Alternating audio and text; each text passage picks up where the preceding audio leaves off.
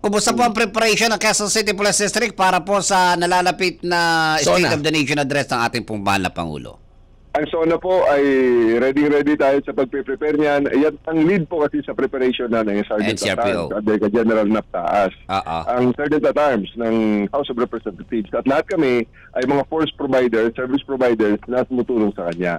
So we have uh, series, we have held a series of meetings at nagkataon na ang Quezon City Police District kasi nasa, nasa Quezon City uh, bilang host dahil nandyan ang Batasang Pambansa. Mm. So ang pinaka-bulk ng deployment ay nandito sa amin. Ayun. Traditionally, alam naman natin na nandyan ang rally na tinatarget ng mga makakalaban ng gobyerno Apo. at mga um, kung sino mga makakaliwang grupo dyan, ang target palagi dyan, Batasang Pambansa. So, nandyan sa Commonwealth Avenue nagsisimula ang mga gatherings. We are preparing, we are preparing accordingly. We are hoping for the best na hindi rin sila makaka-generate ng puwersa na gaya na generate nila before. Correct.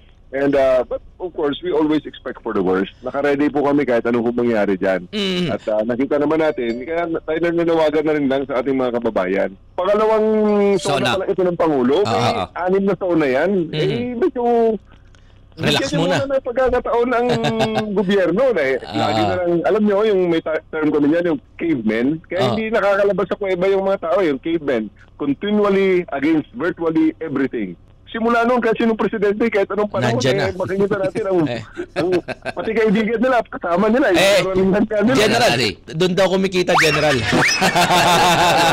May pondo, may pondo. Sayang pondo. Pero sir, last time, uh, there was a time nung uh, panahon ni Pangulong Duterte na kumbaga nirelax yung ano eh, nirelax yung uh, security. Kung di ako nagkakamali, the fir- uh, within the first two years of former President Duterte, ito po ba na kumbaga napag-uusapan nito o talagang uh, usual tayo na preparation na talagang uh, oh, hanggang dito lang kayo, uh, merong mga barricades, ganun, may mga tayo mga uh, ready na force battalion na ready to ano to support yung ating group yung uh, sakaling magkaroon ng uh, pagkakagulo. Ganun po ba?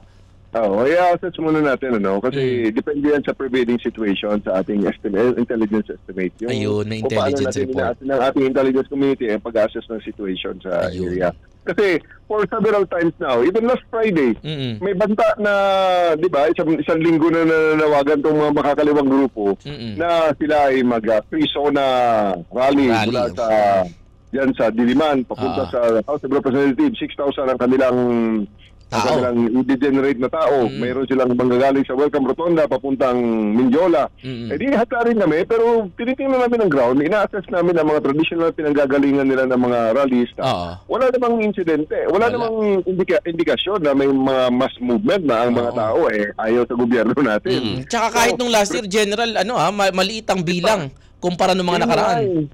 Eh. Hindi, ba, eh, hindi lang sa kahit last year, kahit sa eleksyon. Mm-mm. 32 million ng presidente, eh sila Oo. ilan? Anim na libo siguro, sir, pahirapan pa. Jesus Maria. Eh, Yeah. Tapos, eh, naganda, na, li- anim na libo raw. Mm. Eh, yun, nag-prepare ako ng isang daan lang. Sabi ko, isang daan lang, kaya na ito. Ah. Ayun, sa awan ng Diyos, eh, dumating ang kanilang lista doon sa may house of, ah, sa may sa may Hall of Justice. Ah. Ginseng. Kids. Lal- Lalabig di ba? Sinama na lang namin sa pagka sinama na lang namin sa pagkain ng CDN. Pinakain na lang. Pinakain na laban ng PNP. Alright, and that, thank you so much, General. Ah, salamat po sa pagtanggap sa aming tawag. Ingat po kayo palagi. Maraming salamat din, sir.